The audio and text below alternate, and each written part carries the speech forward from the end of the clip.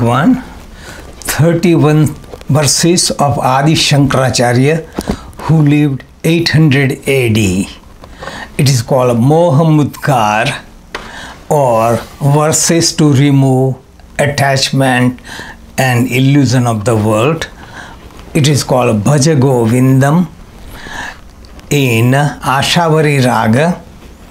I am taking only select verses. Música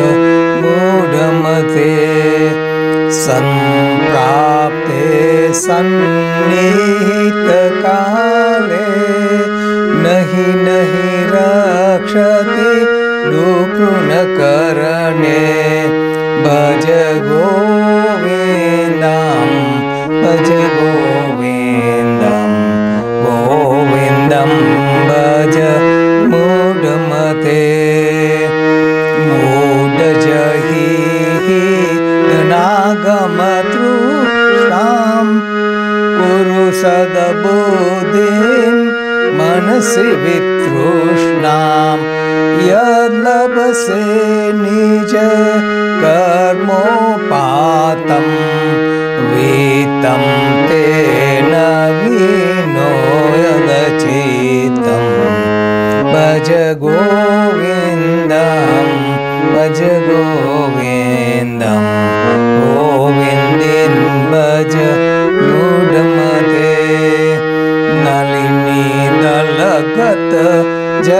जलमतितरलं तत्त्वं जीवितम् अतिशय च फलं विधि व्याधि अभिमानग्रस्तं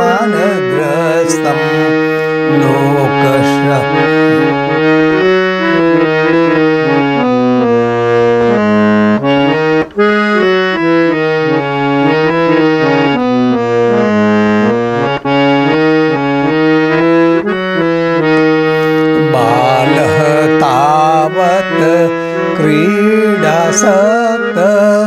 क्रीडासक्त तरुण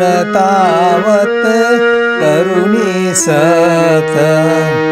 वृद्धः तावत् चिन्तासक्त परमे ब्रह्मणि कोऽपि न सक्त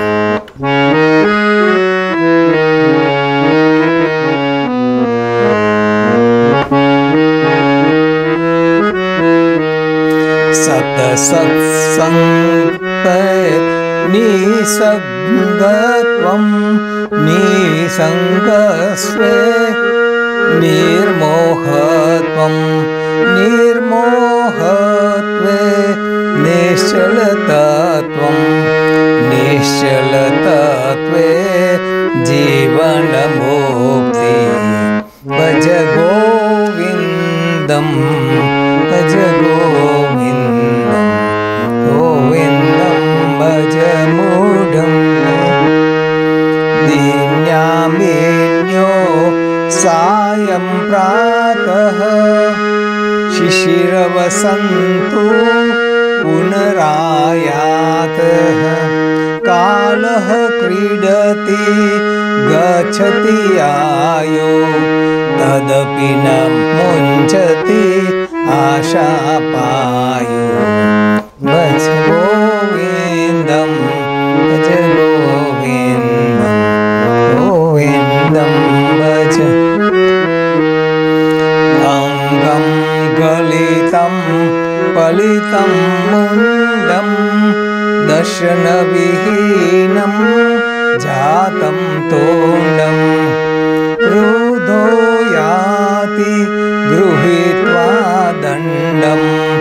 तदपि न मुञ्चति आशापिण्डम् भज। गोविन्दं गोविन्दं भज पुनरपि जननां पुनरपि मरणं पुनरपि जननी जठरे शयनम् इह संसारे बहु दुस्तारे कृपया पारे पाहि मुरारे Here, basic essence is when time comes to die, the rules of grammar won't help you. Life is very sensitive, just like drops on a leaf that falls away.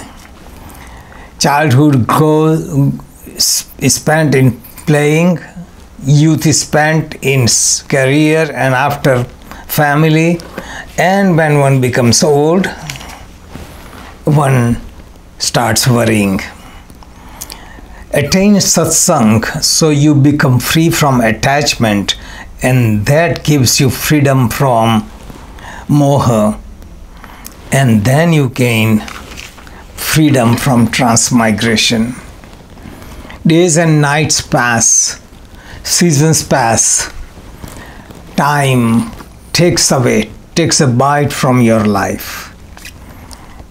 When body is old, head has lost hair, teeth are gone, an old person walks with a staff, struggling, still the desires don't leave him.